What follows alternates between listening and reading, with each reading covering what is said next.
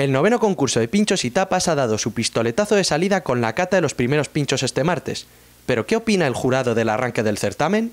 Bueno, pues bien, muy interesante. Bueno, hemos probado 11 o 12 pinchos ya y yo me quedaría con tres ya que, despuntan, sí. Bueno, hay un nivel, hay nivel, hay nivel. No todos, eh, lógicamente. Pero ha habido, ya te digo, yo me quedaría ya con tres o cuatro detalles eh, importantes e interesantes, que me parece que pueden estar ahí entre la final seguro. ¿eh?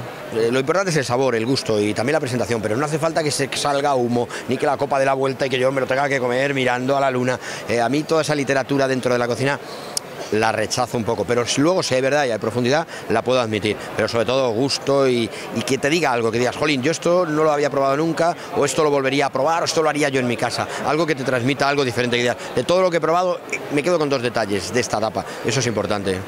Ha sido fantástico, hemos probado creo que han sido 12 etapas, 12 pinchos.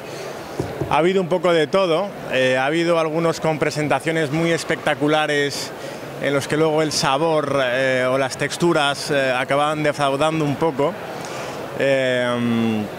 y ha habido otros que sin tener una gran presentación tenían sabores realmente eh, muy, muy eh, sorprendentes. Supongo que, supongo que nos sorprenderán todavía más de lo que ya lo han hecho hasta ahora, porque desde luego tienen un, mérito increíble.